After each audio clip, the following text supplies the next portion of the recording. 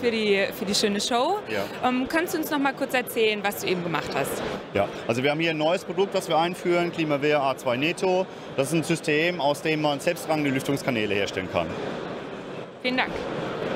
Markus, äh, Lüftungskanäle selbsttragend, wo setze ich die später ein?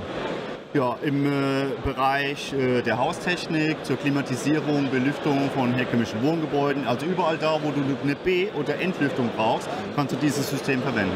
Und der absolute Vorteil gegen den gegenüber dem herkömmlichen Blechkanal? Ist ganz klar die Gewichtsreduzierung. Also wir sind mit dem System circa viermal leichter als ein herkömmlich gedämmter Stahlblechkanal.